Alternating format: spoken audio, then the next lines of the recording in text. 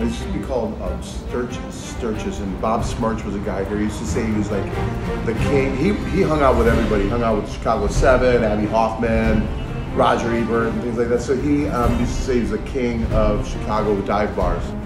So when I came in here, I thought it'd be kind of cool because I wanted to do a theme with tarot cards. I thought, you know, going back to, you know, making like a little medieval room, you know. It's called the King of Cups. This was a fun little project. I mean, this was like a total dive bar. I mean, I had to tear half the bar. All of our bars have uh, bar chefs mix out. They're very elevated cocktails. They call this a clairvoyant cocktail lounge. We have cocktails and tarot. There's an old saying that there, this place is haunted, that someone got killed here a long time ago. Yeah, they say that a guy named Ralph got murdered in here, so Ralph is my security guard here.